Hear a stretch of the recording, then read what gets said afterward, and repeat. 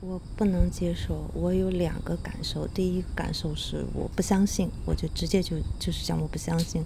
那第二感受就是我相当的愤怒，我现在很愤怒，我的我的手脚已经冰凉了。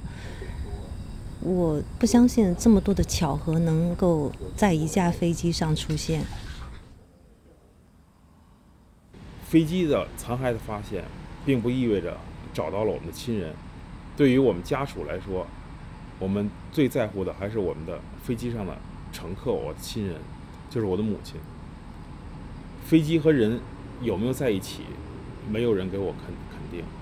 I'm not disappointed. I'm disgusted. I think the whole the whole 17 months has been horrible. It's been handled appallingly, and it continues to be handled appallingly.